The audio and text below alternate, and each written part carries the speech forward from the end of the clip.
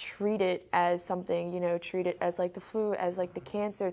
We don't want to make suicide like an everyday thing, but we want to make dealing with the causes of it, the root problems like depression and all that, an everyday thing. We want it.